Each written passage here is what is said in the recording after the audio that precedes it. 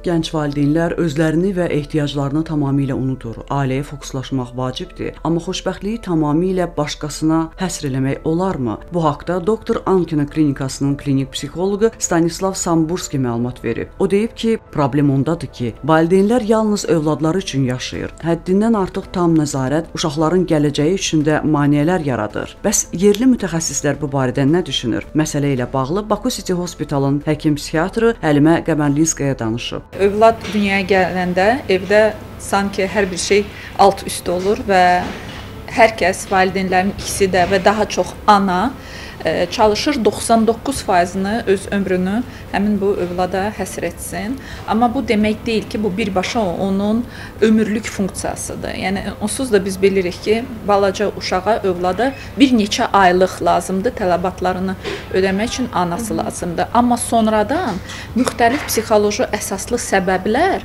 xanımları vadar edir ki, onlar hər bir şeydən imtina eləyirlər. E, hətta belə geyimlərin çox rahat alırlar ki, ki uşaq üçün gəz gəzmək üçün rahat olsun və yaxud özlərinə baxmırlar. Maraq dairəsi daralır. Ona görə ki, bütün vaxtını həsr edir övlada. Bunun fəsadları heç də yaxşı deyil. Mənfi olaraq həm xanım üçün, həm övlad üçün. Niyə? Xanım üçün ona görə ki, e, artıq bunun öz güvəni getdikcə azalacaq. Ona görə ki, olan səriştələr də itir. Məsələn, hansısa professional idi, ekspert idi, müəyyən bir səriştələr azalır. Digər tərəfdən, əgər məsələn həyat yoldaşına maraq ə, e, azalır və bütün öz sərbəst azad vaxtını övlada sərf eləyirsə, bu təbii ki, hansı münaqişələrə gəlib çıxarda bilər. Digər tərəfdən də təşviş arta bilər.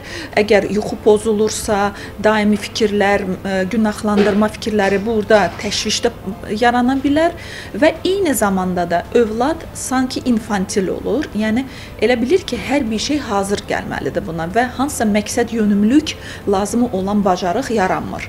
Təbii ki, bu da gələcəkdə hansısa şəxsiyyət pozuntularına ən azı məsələn bildiyimiz narsistik şəxsiyyət pozuntusuna gətirib çıxara bilər. Psixiatr uşaqlar üçün deyil, uşaqlarla birlikdə yaşamağı tövsiyə edib.